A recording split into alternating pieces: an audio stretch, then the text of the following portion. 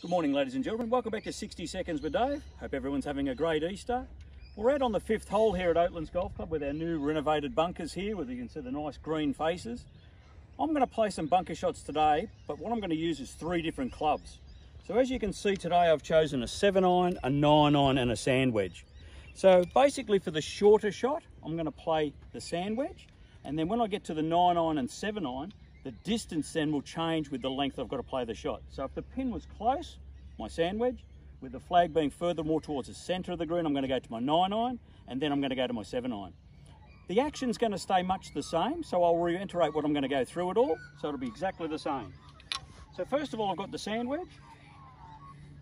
As you can see, I'm going nice and wide in my stance, feet slightly left of my target, club face slightly open, sitting on a bar stool like we did in one of our other sessions, and we're going to try and see if we can get the club in to come in approximately one inch or 25 mil just behind the ball. Head's got to be nice and still, pointing still at the ball at all stages. Up and across. As you can see, that probably wasn't going to quite get to the flag. This is where the 9 iron's going to come in handy to give me that extra little bit of distance, but the same angle and the same shot. Sitting on the stool again, nice and wide, Club face again a little bit more open, still one inch. You can see that one then come out a little bit flatter and got reasonably close to the flag.